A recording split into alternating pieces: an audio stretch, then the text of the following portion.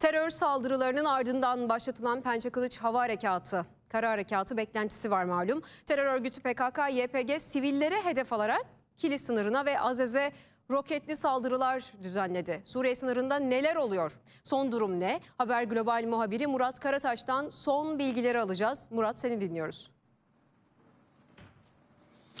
Aslında son 48 saat içerisinde Kilis Öncü Pınar'a üçüncü kez roketli saldırı düzenlendi. Bu kez 3 roket atıldı. Ee, söz konusu saldırıyla ilgili olarak Kilis Valiliği bir açıklama yaptı. Terör örgütü tarafından saat 21-25 sularında Tel Rifat bölgesinden atılan 3 adet çok namlulu roket atar Kilis'te sınır hattına düşmüştür. Herhangi bir can kaybımız ve yaralımız bulunmamaktadır ifadeleri kullanıldı. Aslında Öncü Pınar'a yapılan saldırıdan bir süre önce de Öncü Pınar'ın hemen e, Suriye tarafında bulunan Azez'e bir roketli saldırı düzenlenmişti. Orada bir sivil yerleşim yerine isabet etti ve gelen ilk bilgilere göre maalesef 3 kişi e, bu saldırıda terör örgütü YPG PKK'nın düzenlediği bu saldırıda hayatını kaybetti. Bu arada Azez'de bu saldırı sonrasında sokağa çıkmayın anonsları yapılmaya e, başlandı. Çünkü olası bir yeni saldırıya karşı sivillerin kendilerini korumaları istendi. Bu arada dikkat çeken bir başka ayrıntı Fırat Kalkanı bölgesinde ise okullar tatil edildi e, sebebine ilişkin herhangi bir açıklama yok ancak ikinci bir talimata kadar okulların tatil edilmesi yönünde bir karar alındı.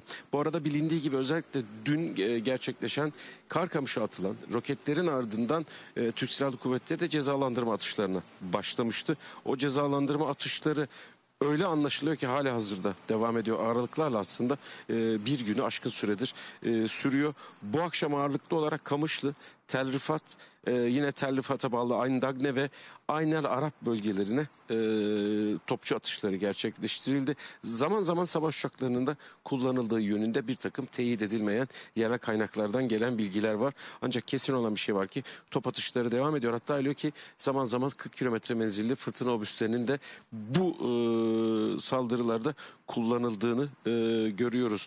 Daha doğrusu terör örgütünün yap, e, yapmış olduğu saldırılara karşı yapılan bu cezalandırma atışlarında e, fırtına obüslerinin kullanıldığını da görüyoruz. Siyahların yine aynı şekilde devre, e, devrede oldukları, e, gökyüzünde devreye gezdikleri ve tespit edilen hedefleri e, yukarıdan topçu bataryalarına bildirdikleri ve alınan koordinat gereği de e, Türk Silahlı Kuvvetleri'nin bölgede konuşlu e, unsurları tarafından yine top atışlarıyla o hedeflerin imha edildiği yönünde gelen bir bilgi.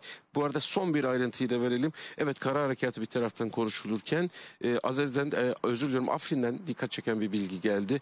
Afrin'de Süleyman Şah Tümeni'ne bağlı yaklaşık bin kadar savaşçı bir tatbikat gerçekleştirdiler. Gerçek mühimmat kullanıldı, gerçek cephaneler kullanıldı. Seçilen hedefler e, vuruldu. Tabii tatbikatın zamanlaması kara harekatlarında konuşulduğu dönemle e, eş zamanlı olunca acaba gerçekten e, Suriye Milli Ordusu da bir kara harekatına mı hazırlanıyor şeklinde bir soruyu da akıllara getirdi. Murat Karataş'a çok teşekkür ediyoruz aktardığı bilgiler için ve